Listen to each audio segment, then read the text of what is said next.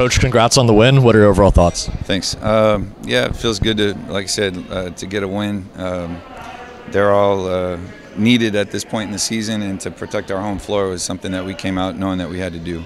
And this was one of the most complete games all season in conference. What do you think the factors were that went into that? Um, yeah, I mean, just at the end of the day, I think most coaches would tell you it's, it's a lot about the details, and uh, we we have so many things that we need to work on and get better at. But tonight we we tried to stick to a few things and really be masters of those few things. And I'm not saying we were that, but we were that more than we weren't tonight, and I think it revealed itself a little bit in the score.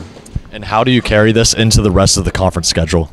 Yeah, it's tough. Uh, momentum is a great thing. Um, when you're playing in a sea of uncertainty like everybody is this year, it's tough because you, you, you, don't know that you're playing until the ball's actually in the air.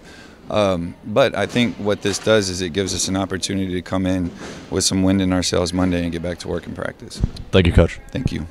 The Saints beat Jarvis 102 80 today. Next, they'll play at Texarkana on January 29th. For OLLU Saints Network, I'm Ryan O'Keefe.